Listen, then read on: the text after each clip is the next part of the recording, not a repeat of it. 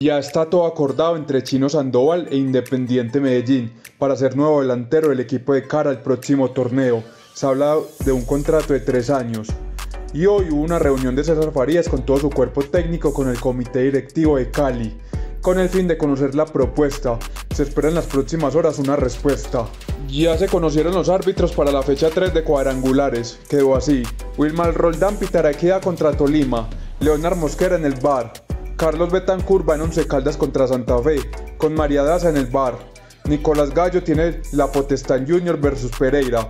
Y Carlos Ortega dirige Millonarios contra Bucaramanga. Mauricio Pérez en el bar. ¿Qué más, parceros? Bienvenidos a Esencia. Aquí está la información del fútbol colombiano. Volviendo al tema de los movimientos en el mercado, Snyder Mene y John García no continúan en América de Cali, lo confirmó el propio Polilla Silva. Además de decir que el tema de la salida de Andrés Sarmiento es porque lo está pasando mal con la hinchada. Esta semana te hablábamos del interés de América de Cali en el fichaje de Juan Vergara, pues ahora hay que sumarle Atlético Nacional, porque de repente lo conoce cuando lo dirigió en México. El extremo no está muy contento en Monterrey. La llegada de Kevin Riasco se cayó en pasto debido a que el futbolista no pasó los exámenes médicos. Jason Guzmán y Lucumi son la gran novedad de Tolima en la convocatoria para el compromiso contra la equidad. Y Junior felicitó a Teo Gutiérrez en su cumpleaños número 39.